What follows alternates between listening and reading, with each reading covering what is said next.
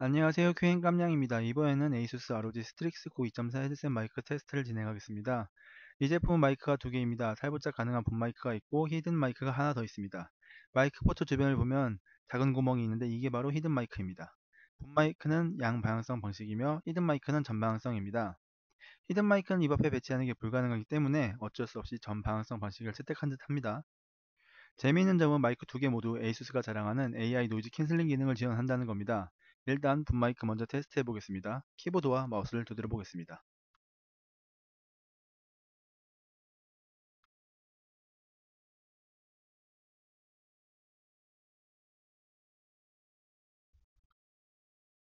다음으로 음악을 재생해 보겠습니다.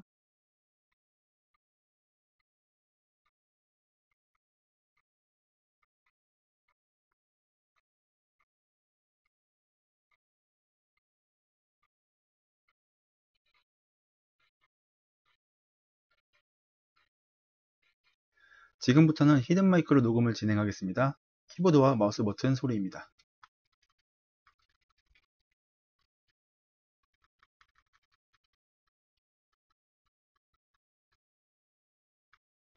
음악을 재생해 보겠습니다.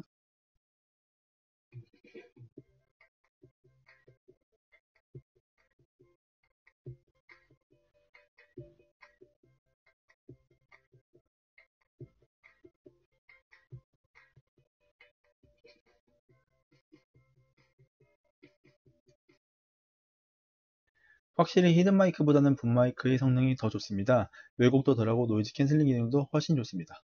마이크를 사용할 때에는 붐 마이크를 활용하시기 바랍니다. 물론 hidden 마이크도 임시 방편용으로는 나쁘지 않습니다. ASUS noise cancelling 기능은 별도 칩세트를 활용하기 때문에 하드웨어 자원을 잡아먹지 않는다는 장점이 있습니다. 이 부분은 꽤 매력적이라고 생각합니다. 여러 가지를 종합했을 때, 특히 마이크를 활용한다고 가정했을 때 게이밍용으로는 손색 없는 성능입니다.